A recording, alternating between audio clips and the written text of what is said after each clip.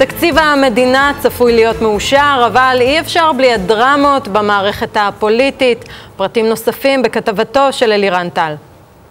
מערכת היחסים הטובה וארוכת השנים בין כחלון לליברמן מנעה מיני משבר נוסף בתוך הקואליציה, הפעם סביב אישור התקציב. שר הביטחון דרש עוד כספים וקיבל חלקית את מבוקשו. 150 מיליון שקלים יוקצו לחיזוק היישובים בצפון. צוות בראשות ראש המל"ל יבחן דרישה לתוספת תקציבית נוספת לצה"ל. התקציב שאנחנו מביאים היום לאישור הממשלה הוא תקציב נוסף שממוקד בהצמחת המשק הישראלי וחיזוק הכלכלה. מדובר בתקציב חברתי יותר מתמיד.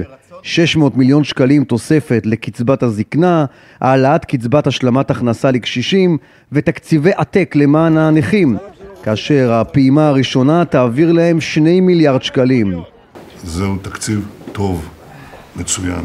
התקציב כולל בשורות חשובות להבטחת הצמיחה הכלכלית, להורדת יוקר המחיה, להורדת הרגולציה, נדבר גם על חוק ההסדרים, ושיפור השירותים שניתנים לאזרחי ישראל. גם מערכת היחסים בין כחלון לנתניהו חזרה לקדמותה. אתה ונתניהו, איך? כבר לא, לא. כבר לא, לא? אתה וגבאי, איך? כבר לא.